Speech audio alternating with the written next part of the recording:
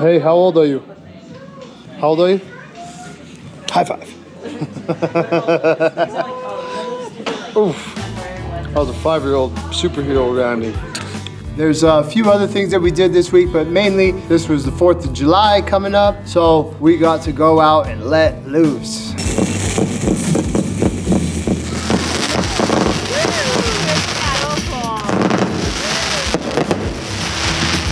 To Wyoming. My beautiful wife and her family have a legacy of fireworks, responsibly blowing shit up up there. And so we went up there and we followed in suit.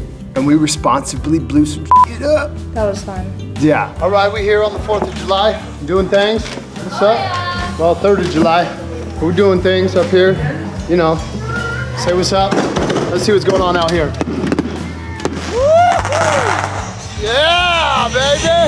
Yeah, that's what I'm talking about, everybody. Firing them off, firing them off. Love it. Thanks for letting us come by. Heck yeah. We did like karaoke forever and ever all night, the couple nights we were there. And then my mom, it seems like at the end of every 4th of July, she likes to grab, secretly grab the fireworks that weren't blown off, you know, like maybe the ones that weren't sold in the store, and go throw them in the bonfire where other people are throwing things in the bonfire and then start a huge war. But that's my mom. I love her. Shout, out, mom and dad. Yeah, yeah. That's one way to get rid of them. Oh, there they go, there they go.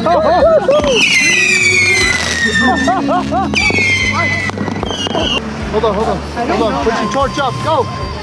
I love being able to go spend time with the family and go do things like that. So shout out America for giving us another birthday to celebrate.